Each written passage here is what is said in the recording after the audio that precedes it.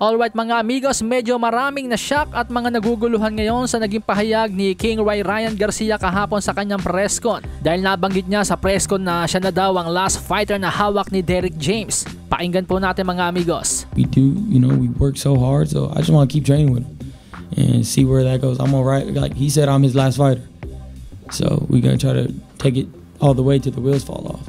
Malinaw pa sa sikat ng araw na sinabi niyang I'm his last fighter. So ang tanong ng boxing world, ibig bang sabihin nun na nilayasan na si Derek James, nila Errol Spence, Jermel Charlo at Frank Dagos Martin? Kaya nasabi ni Ryan Garcia na I'm his last fighter?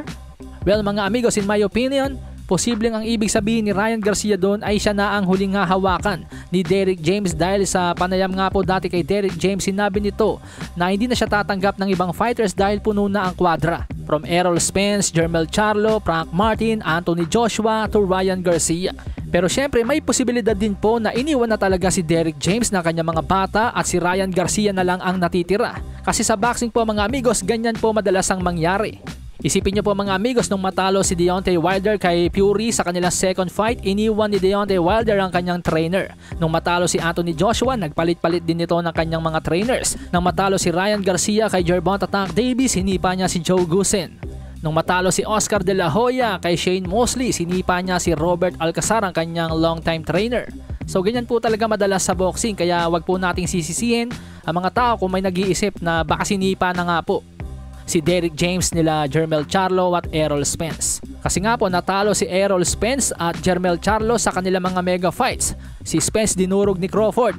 Si Charlo nilampaso ni Canelo. Si Frank Martin although hindi pa siya natatalo pero since si Errol Spence ang may hawak sa kanya under Man Down Promotions, natural kung nasan si Errol Spence ay susunod itong si Frank Martin. Yung salita ni Ryan Garcia na maging ang mga boxing fans sa social media ay na-curious kung ano ba talaga ibig sabihin nun. Para sa akin, yun ay posibleng siya na yung last fighter ni Derek James.